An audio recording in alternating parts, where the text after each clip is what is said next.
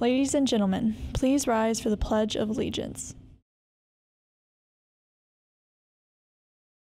I pledge allegiance to the flag of the United States of America and to the republic for which it stands, one nation, under God, indivisible, with liberty and justice for all.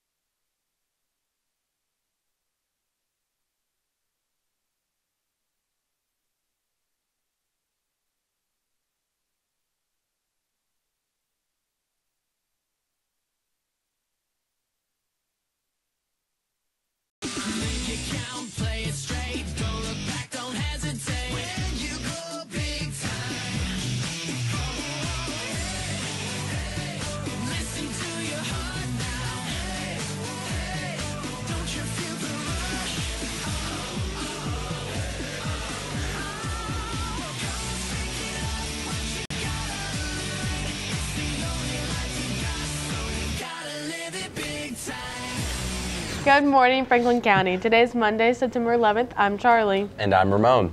Students, are you ready for homecoming? Preparations are underway, and now is the time to pick up an out-of-school date form from any of the school offices. The out-of-school date form must be returned by 3.30 p.m. on Friday, September 15th. Please make sure that you return the form to Miss Lynch in Ramsey office or Miss Bird in 158 Tech B before the deadline. Out-of-season swim training begins tomorrow. You must have a VHSL physical on file in order to participate and training will begin at 4 p.m. at the Y. A representative from Randolph College will be here on Wednesday at 1.30 p.m. in the guidance office. If you are interested in meeting with them, please sign up in the guidance office. Are you a senior with a choral background or just love to sing? Visit Ms. Booth in 150 Tech B to ask her about auditioning for Honors Choir. Honors Choir is only available for seniors. Students who audition and make it into Honors Choir go to Richmond for a two-day event to sing with 100 other students from all around Virginia. This choir is extraordinarily prestigious and is the highest choral honor. Sign up to audition is only available from now until September 15th. Come see Miss Booth during activity period for more information or before or after school. If you need a pass, just email her or any or ask her beforehand. Miss Booth welcomes any interested seniors who love to sing, whether they are in choir this semester or not. Any upper class FFA members interested in going to Ferrum College on Friday, October 20th needs to sign up with an ag teacher as soon as possible. Spaces are limited and will be first come, first serve. Permission slips will be sent out September 18th.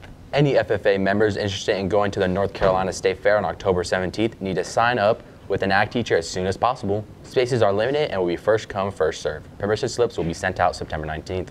There will be a college admissions workshop for juniors and seniors, but open to all this September 14th from 6 to 7 p.m.